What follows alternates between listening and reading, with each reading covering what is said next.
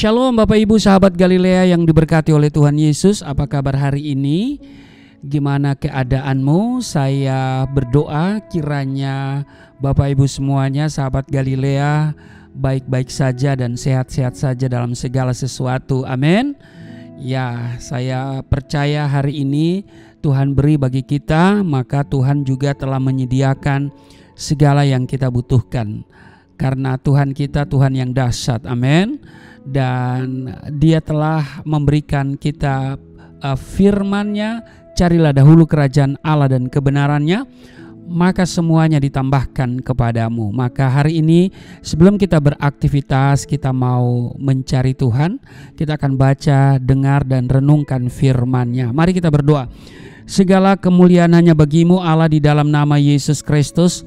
Dikuduskanlah namamu, datanglah kerajaanmu, jadilah kehendakmu di bumi seperti di surga. Kami datang di hadapanmu dengan penuh sukacita, kami mengucap syukur buat kebaikan Tuhan yang engkau sudah nyatakan bagi setiap kami. Kami boleh bangun dengan tubuh yang sehat, kekuatan yang baru, semangat yang baru. Setelah engkau menjaga, menyertai dan memberkati istirahat tidur kami di sepanjang malam yang telah berlalu. Sebab itu sebelum kami masuki dunia kerja kami hari ini, kami mau uh, baca, dengar dan renungkan firman-Mu. Kiranya Engkau mengurapi kami, membuka hati pikiran kami sehingga apa yang kami baca, kami dengar tidak untuk kami lupakan, tapi itu termaterai dalam hati kami, menjadi rema dalam hidup kami sebab firman-Mu itu menjadi kekuatan bagi kami untuk melangkah di hari ini, menjadi penyemangat bagi kami untuk bekerja. Kami percaya Tuhan tidak membiarkan meninggalkan kami dan karena itu urapi juga hambamu yang tidak ada apa-apanya. Di dalam nama Tuhan Yesus haleluya. Amin.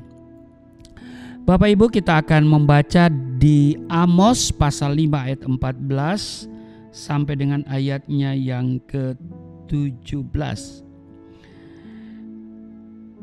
Hidup dan mati dikatakan begini carilah yang baik dan jangan yang jahat supaya kamu hidup. Dengan demikian Tuhan Allah semesta alam akan menyertai kamu seperti yang kamu katakan. Bencilah yang jahat dan cintailah yang baik dan tegakkanlah keadilan di pintu gerbang. Mungkin Tuhan Allah semesta alam akan mengasihani sisa-sisa keturunan Yusuf. Sesungguhnya beginilah firman Tuhan Allah semesta alam, Tuhanku di segala tanah lapang akan ada ratapan, dan di segala lorong orang akan berkata, Wahai, wahai petani dipanggil untuk berkabung, dan orang-orang yang pandai meratap untuk mengadakan ratapan. Ayat 17, dan di segala kebun anggur akan ada ratapan apabila aku berjalan dari tengah-tengahmu firman Tuhan. Bapak Ibu di ayat 15 dikatakan begini Bapak Ibu. Uh, sesungguhnya dikatakan begini, bencilah yang jahat dan cintailah yang baik dan tegakkanlah keadilan di pintu gerbang. Mungkin Tuhan Allah semesta alam akan mengasihani sisa-sisa keturunan Yusuf. Bapak Ibu sahabat Galilea yang diberkati oleh Tuhan Yesus, Amos bagi orang lain tidak diperhitungkan dan kurang dianggap. Jadi Bapak Ibu, seorang Amos ini tidak dianggap, tidak diperhitungkan oleh orang lain. Mengapa? Karena Amos bukanlah dari golongan nabi, melainkan hanya peternak dan pemungut buah ara di hutan. Itu kita baca di uh, Amos pasalnya yang ketujuh ya di ayat uh, eh, 14 dikatakan begini. Jawab Amos kepada Amazia, "Aku ini bukan nabi dan aku ini tidak termasuk golongan nabi, melainkan aku ini seorang peternak dan pemungut buah arah hutan."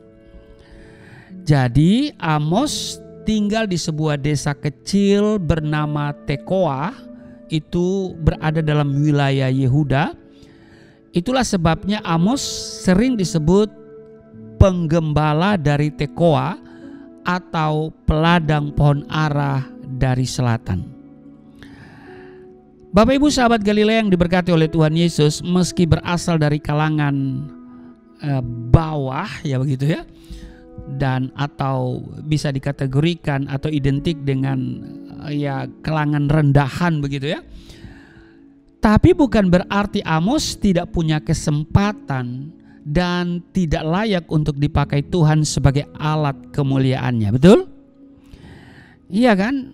Mengapa? Sebab uh, Tuhan tidak pernah memilih seseorang dari sisi fisik ya.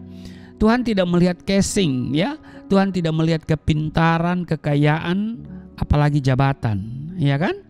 Nah, Saudara, di 1 Samuel 16 ayat 7 bagian B, bukan yang dilihat manusia yang dilihat Allah. Manusia melihat apa yang di depan mata, tetapi Tuhan melihat hati.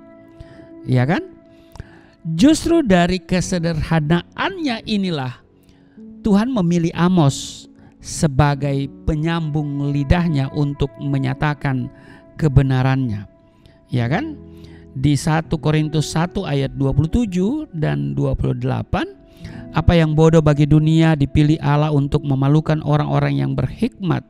Dan apa yang lemah bagi dunia dipilih Allah untuk memalukan apa yang kuat? Dan apa yang tidak terpandang dan yang hina bagi dunia dipilih Allah? Bahkan apa yang tidak berarti dipilih Allah untuk meniadakan apa yang berarti. Nah, Bapak Ibu, Sahabat Galilea yang diberkati oleh Tuhan Yesus, kita tidak perlu merasa rendah diri, minder atau merasa tidak layak, ya kan? Setiap orang percaya itu memiliki kesempatan yang sama untuk dipakai oleh Tuhan sebagai alat kemuliaannya.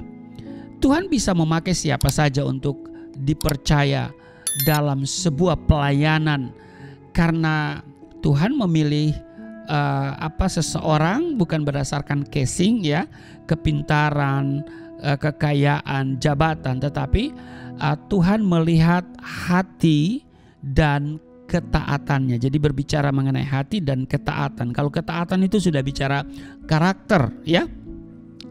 Di 2 Timotius pasal 2 ayat 21 jika seorang menyucikan dirinya dari hal-hal yang jahat ia akan menjadi perabot rumah untuk maksud yang mulia. Ia dikuduskan dipandang layak untuk dipakai tuannya dan disediakan untuk setiap pekerjaan yang mulia. Nah Bapak Ibu sahabat Galilea yang diberkati oleh Tuhan Yesus Tuhan memilih Amos untuk sebuah rencana besar yaitu menyampaikan pesan penting berupa teguran dan peringatan kepada bangsa Israel di bagian utara yang pada waktu itu sedang berada di puncak kejayaan. Tapi hidup mereka menyimpang dari kebenaran.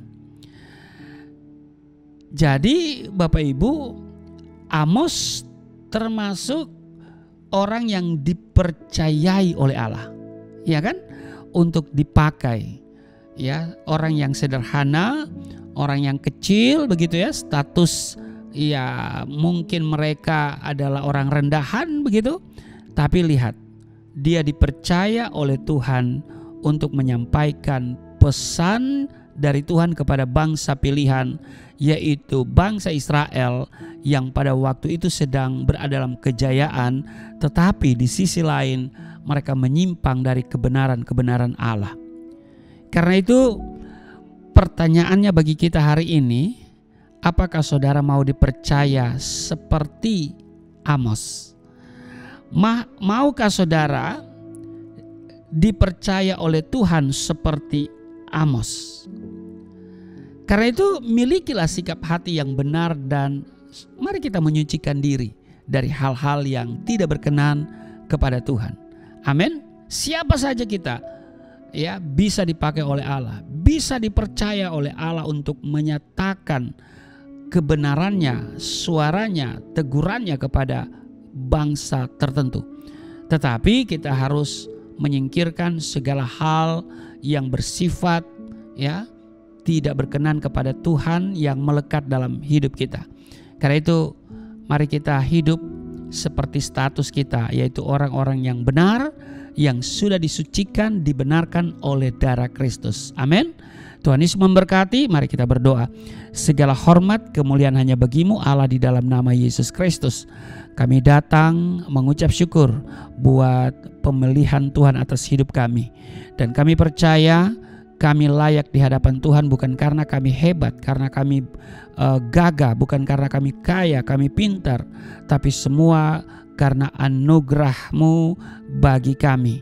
Dan karena itu tiliklah hati kami dan kiranya engkau terus membentuk pribadi kami, karakter kami, supaya kami senantiasa uh, mengikuti kehendakmu Roh Kudus menolong kami. Berkati seluruh sahabat Galilea dalam tugas kerja mereka hari ini. Mereka terpelihara, tidak sakit, tidak celaka.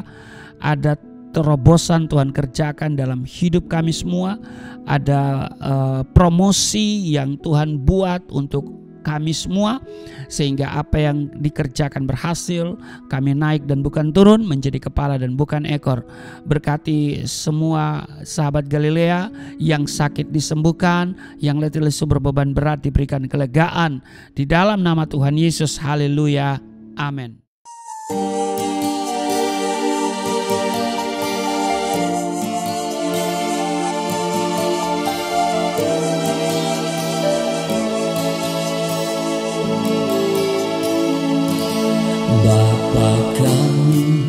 yang di surga.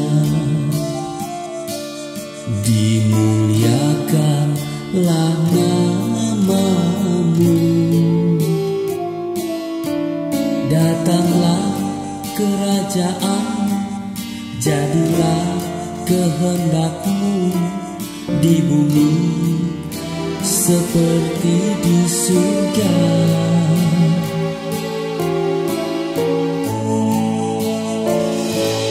berikanlah kepada kami